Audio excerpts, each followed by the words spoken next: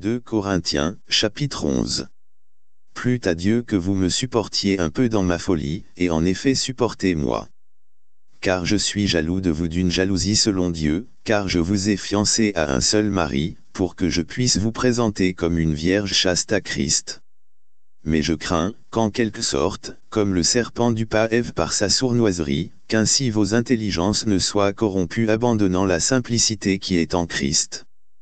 Car si celui qui vient prêche un autre Jésus, que nous n'avons pas prêché, ou si vous recevez un autre esprit, lequel vous n'avez pas reçu, ou un autre évangile, lequel vous n'avez pas accepté, il se pourrait bien que vous le supportiez.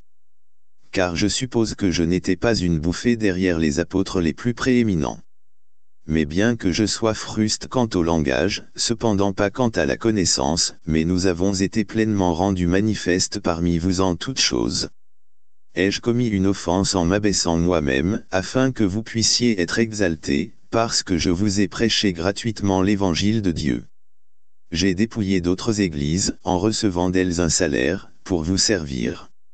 Et lorsque j'étais en votre présence et dans le besoin, je n'ai été à la charge d'aucun homme, car ce qui me manquait les frères qui vinrent de Macédoine, ont suppléé, et en toute chose je me suis gardé d'être une charge envers vous, et je m'en garderai. Comme la vérité de Christ est en moi, aucun homme ne m'empêchera cette vantardise dans les régions de l'Achaïe. Pourquoi? Parce que je ne vous aime pas. Dieu le sait.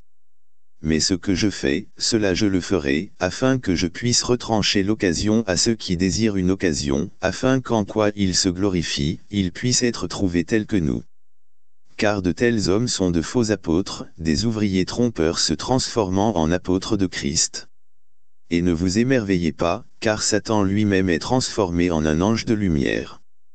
Par conséquent ce n'est pas grand-chose si ces ministres aussi se transforment en ministres de droiture, desquels la fin sera selon leurs œuvres. Je le dis encore, qu'aucun homme ne me considère comme un insensé, malgré tout recevez-moi, comme un insensé, afin que je puisse me vanter un peu. Ce que je dis, je ne le dis pas d'après le Seigneur, mais comme si c'était insensé, avec cette assurance de vantardise. Puisque beaucoup se glorifient suivant la chair, je me glorifierai aussi. Car vous supportez volontiers les insensés, puisque vous, vous-mêmes êtes sages. Car vous supportez, si un homme vous a servi, si un homme vous dévore, si un homme prend avantage de vous, si un homme s'élève, si un homme vous frappe au visage. Je parle concernant l'outrage, comme si nous avions été faibles. En quoi que ce soit que quelqu'un soit hardi, je parle en insensé, je suis hardi aussi. Sont-ils hébreux? Je le suis aussi. Sont-ils israélites? Je le suis aussi. Sont-ils la semence d'Abraham? J'en suis aussi. Sont-ils ministres de Christ?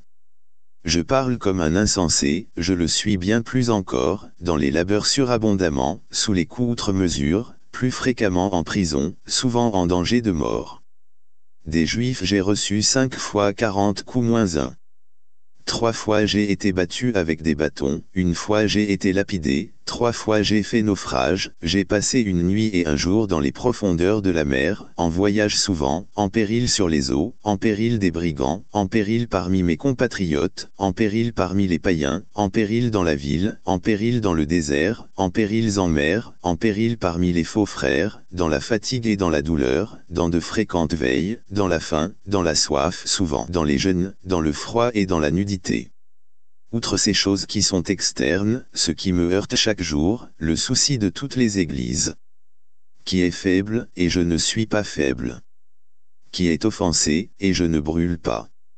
Si je dois me glorifier, je me glorifierai des choses qui concernent mes infirmités. Le Dieu et Père de notre Seigneur Jésus-Christ, lequel est béni à toujours, sait que je ne mens pas. À Damas le gouverneur sous le roi Aretas gardait la ville des Damaskéniens, par une garnison, désirant m'appréhender, et par une fenêtre je fus descendu de la muraille dans un panier, et j'échappai de ses mains.